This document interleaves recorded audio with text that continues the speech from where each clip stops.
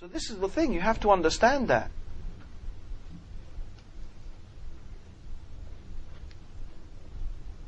And then you find we're told that depressed people feel helpless and hopeless. They feel helpless and they feel hopeless. In fact, it's interesting that I read that depression is similar to the helplessness in laboratory animals who remain in unpleasant situations from which they are unable to escape. They have sort of, you know, strange behavioral patterns. So, this feeling of, I have no control, I am helpless, I am hopeless, there is no hope, how can, honestly, how can a Muslim not have hope? How can you not have hope? You must always hope. Uh, hope is free. You don't have to pay for hope. You, you, if you know Allah subhanahu wa ta'ala, you will always hope in Allah subhanahu wa ta'ala. And how will you feel helpless? As I said, you're the servant of Allah. You're the servant of Allah. You're the slave of the Lord of all of the universe. The one who has power over everything.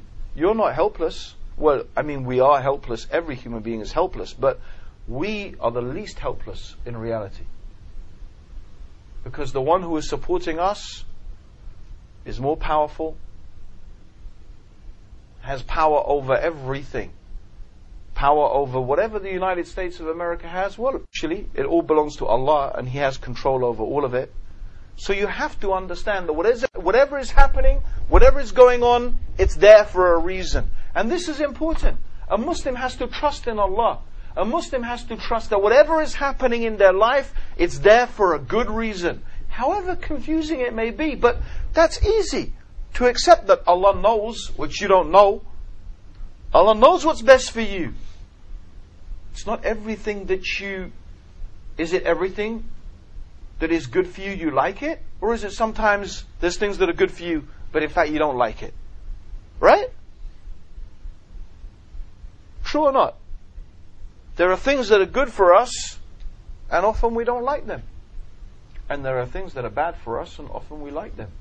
So the fact that I like it or don't like it doesn't mean that it's good for me or bad for me. And that comes from trusting on Allah. No, you know, this is why every Muslim should have a good opinion of Allah. A good opinion of Allah means that I believe that what is happening to me in my life is for the best. That Allah will guide my life and guide me in my life for what is best. Because that's my good opinion of Allah. That's my good opinion of Allah. I have that good opinion. Yeah? This is how the believer should be. So you shouldn't feel helpless and you shouldn't feel hopeless. So, brothers and sisters, I think that's really uh, an interesting, you know, those are the main, you know, characteristics of somebody who is depressed. And, and it's very interesting, by the way. I just thought this was a very interesting thing. I noted this down.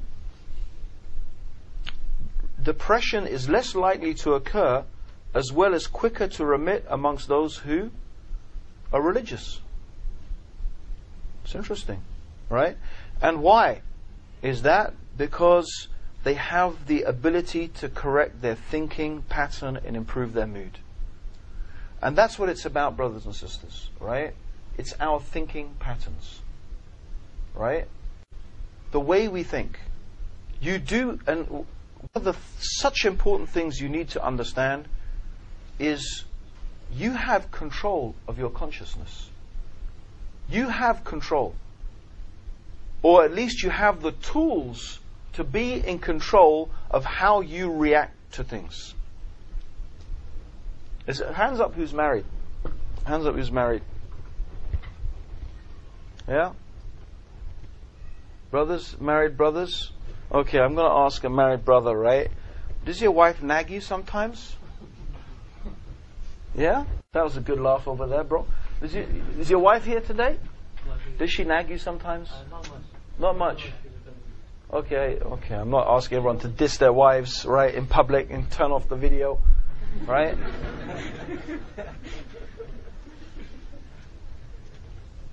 Okay, bro, I won't ask for volunteers, right? Okay? But you know what? I think we all experience that. The wife nags. When are you going to do this? When are you going to do that? How are you going to do this? All right? And tell you the truth, myself personally, I don't react. I well, I don't react to it very well. I don't react to it well at all. But um, you know, there's something, a little simple thing that I just understood is that actually I have control of my inner experience. I don't have to react to what my wife is saying if I don't want to. Because think about it. All that is really happening is there are sound waves going from your wife's mouth to your ears. Right? Now, those sound waves could come from a speaker, they could come from earphones, they could come from anything, but they're just sound waves. You can treat them as sound waves. That's just sound waves coming to my head. Right? Okay? I don't have to react. I don't have to react. In fact, yes, darling. Yeah. Whatever you say. Right? You're the boss. Okay? You know, seriously, you don't have to react. And it's true about anything. Let, let me give you a real example, right? Of how consciousness, you have control of consciousness and your consciousness controls you. This is how it should be. And by the way, this is what Islam is teaching you. When you are fasting, right, as any doctor here will tell you, right? So if I get it wrong, you can correct me, right? the feeling that we have called hunger, we have a feeling called hunger, right, is produced by chemicals in our body. When our body needs food, it sends out chemicals, right?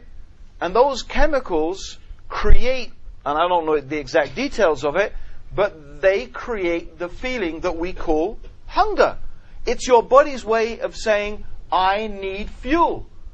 But your consciousness, when you are fasting Ramadan, overrides that biological impulse. Why? Because you have something more important that you want to achieve.